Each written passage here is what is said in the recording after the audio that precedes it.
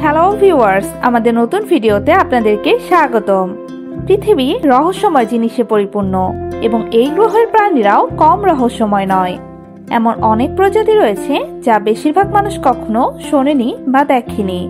তবে বিজ্ঞানীরা তাদের নিরলস প্রচেষ্টার কারণে এই অদ্ভুত এবং উদ্ভটতম প্রাণীগুলো আবিষ্কার করতে পেরেছে। আবিষ্কার করার পর তাদের অদ্ভুত চেহারা এবং কর্মকাণ্ড বিজ্ঞানীদের হতবাক করে দিয়েছে। তাই আজ আমরা পৃথিবীর শীর্ষ পাঁচটি অদ্ভুত চেহারার প্রাণী সম্পর্কে জানব। নাম্বার পাঁচ, সুবিল। শীর্ষ পাঁচটি অদ্ভুত চেহারার প্রাণীদের মধ্যে পঞ্চম নম্বরে রয়েছে সুবিল বা জুতোবিল, যা সারস জাতীয় পাখির অন্তর্ভুক্ত। সুবিল বিশাল জুতো আকৃতির চঞ্চু বা ঠোঁটের কারণে ব্যাপকভাবে পরিচিতি লাভ করেছে। এরা দক্ষিণ সুদান থেকে বড় জলভূমিতে গ্রীষ্মমণ্ডলীয় পূর্ব আফ্রিকাতে বসবাস করে। এদের দেহটি নীল ধূসর বর্ণের সাথে আবৃত এবং শক্ত ঘাড়, লম্বা পা এবং প্রশস্ত ডানা রয়েছে। এই পাখিগুলি অস্বাভাবিকভাবে প্রায় পাঁচ ফুট লম্বা ও চার ফুট দৈর্ঘ্যের হয় এবং ওজন এক দশমিক পাঁচ পাউন্ড পর্যন্ত হতে পারে। এই জুতো বিলের শরীরের সবচেয়ে দর্শনীয় অঙ্গ হল এর চঞ্চু বা ঠোঁট। চঞ্চুটি অনেকটা জুতোর আকারের মতো, যার কারণে এই পাখির নাম রাখা হয়েছে জুতো বিল। এটি নয় ইঞ্চি লম্বা এবং চার ইঞ্চি প্রস্থ হয় এবং পেরেকের মতো হুক দিয়ে শেষ হয়, যা শিকারটিকে হত্যার জন্য ব্যবহার করে থাকে। এরা অত্যন্ত কার্যকর শিকারী এবং সরীসৃপ, ইঁদুর ও মাছ শিকার করে। এই পাখিগুলি মানুষের সাথে বিনীত এবং কোনো হুমকি স্বরূপ আচরণ প্রদর্শন করে না।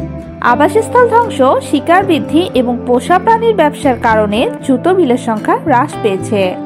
নাম্বার চার লং নোস্ট হর্ন ফ্রগ আমাদের তালিকার চার নম্বরে রয়েছে লং নোস্ট হর্ন ফ্রগ বা দীর্ঘ নাকের শিংযুক্ত, নামে খ্যাত এক প্রজাতির ব্যাং এরা মালয়ানের শিংযুক্ত ব্যাং যা মালয়ান পাতার ব্যাং নামেও পরিচিত।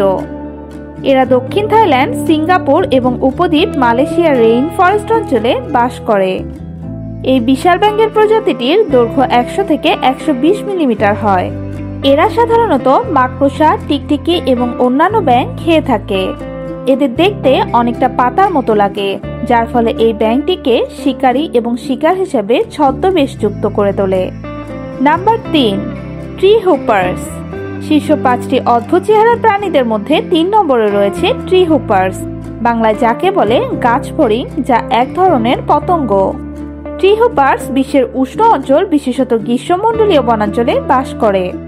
এদের কর আকার দুই মিলিমিটার থেকে দুই সেন্টিমিটারের মধ্যেই হয়। এরা সাধারণত গাছগুলিতে কয়েক মাস বেঁচে থাকে। এই গাছ ফড়িংয়ের পিঠে তীক্ষ্ণ মেরুদণ্ড রয়েছে, যা এই ফড়িংকে একটি গাছের কাটার মতো দেখায়। ছোট হওয়ার কারণে এরা লুকানোর ক্ষেত্রে খুব ভালো এবং ছদ্মবেশগুলি শিকারীদের নজর এড়াতে সহায়তা করে। নাম্বার দুই, প্রোবোসিস মানকি। পৃথিবীর শীর্ষ পাঁচটি অদ্ভুত চেহারার প্রাণীদের মধ্যে দ্বিতীয় নম্বরে রয়েছে প্রোবোসিস মানকি বা বানর, যা তার লম্বা মাংসল এবং অদ্ভুত নাকের জন্য বিখ্যাত। আজবে বানর দেখতে হলে যেতে হবে দক্ষিণ পূর্ব এশিয়ার বর্ণীয় দ্বীপে। এদের গায়ের রং হালকা বাদামি এবং এরা সাধারণত গাছে থাকে। এরা নিজের খাবার নিজে সংগ্রহ করে খেতে পছন্দ করে। বন্দি অবস্থায় এরা খাদ্য গ্রহণ করে না। এজন্য এদেরকে চিড়িয়াখানায় দেখা যায় না। এই বানরগুলো বিভিন্ন রকমের ফল, বীজ এবং গাছের কচি পাতা খেয়ে থাকে। এদের পেট বেশ মোটা হয় এবং শরীরে বেশিরভাগ অংশই এদের পেট। এই বানরদের সবচেয়ে দর্শনীয় অঙ্গ হলো পুরুষ প্রজাতির নাক। এমন নাক যা দেখলে হাসি পায় এবং এই নাকের জন্যই বেচারা বানরগুলোকে দেখতে অদ্ভুত লাগে। নাকটি সাত ইঞ্চি পর্যন্ত লম্বা হতে পারে এবং লালচে বাদামি রঙের হয়। পুরুষ বানরদের সাধারণত মহিলাদের চেয়ে বড় নাক থাকে।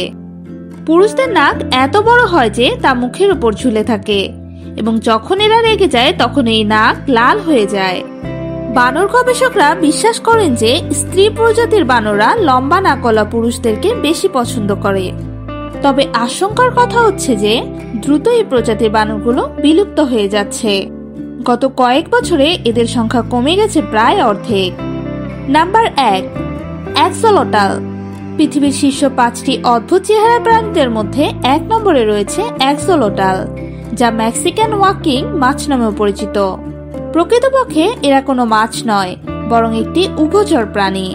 এদেরকে শুধু মেক্সিকো শহরের চারপাশে বিভিন্ন রোদগুলোতে পাওয়া যায়। এরা দৈর্ঘ্যে বারো ইঞ্চি এবং ওজন চার পাউন্ড পর্যন্ত হতে পারে। এরা কালো, বাদামি বা সাদা রঙের মতো বিভিন্ন রঙে আসে। উভচর প্রাণী হওয়া সত্ত্বেও এরা কখনো স্থলভাগে যায় না, বরং পুরো জীবনটি পানির নিচে কাটিয়ে থাকে। একটি অবাক করা বিষয় যে, এরা এদের হারিয়ে যাওয়া বা ক্ষতিগ্রস্ত হওয়া দেহের বিভিন্ন অংশ পুনরায় তৈরি করার অনন্য ক্ষমতা রয়েছে। এমনকি অ্যাক্সোলোটাল তার অনুপস্থিত অঙ্গ কিডনি, হার্ট এবং ফুসফুস পর্যন্ত পুনরুৎপাদন করতে পারে। এরা এদের শরীরের অঙ্গগুলো পুনরায় তৈরি করতে পারার কারণে এগুলি ব্যাপকভাবে গবেষণার জন্য ব্যবহৃত হয়। এদের বেঁচে থাকার মূল হুমকি হল নতুন ও আক্রমণাত্মক মাছের প্রজাতি রোদে প্রবেশ করা, দূষণ, পোষা প্রাণীর বাণিজ্য এবং অতিরিক্ত মাছ ধরা। বর্তমানে এই অনন্য চেহারার প্রাণীটি সমালোচনামূলকভাবে বিপন্ন প্রজাতির তালিকাভুক্ত হয়েছে, যা খুবই দুঃখজনক। এইসব প্রাণীগুলি সম্বন্ধে কিছু মতামত আমরা আপনাদের থেকেও শুনতে চাই। তাই অবশ্যই কমেন্টে আমাদেরকে জানাবেন। যদি ভিডিওটি আপনাদের ভালো লেগে থাকে, তাহলে অবশ্যই আমাদের ভিডিওটি লাইক করুন এবং ভিডিওটি আপনাদের বন্ধুদেরকে দেখাতে চান, তাহলে প্লিজ শেয়ার বাটনে ক্লিক করুন। এমন আরও ভিডিও পেতে চাইলে অবশ্যই আমাদের চিড়িয়াখানা ফেসবুক পেজে লাইক দিন এবং চিড়িয়াখানা চ্যানেলটিকে সাবস্ক্রাইব করুন। ধন্যবাদ।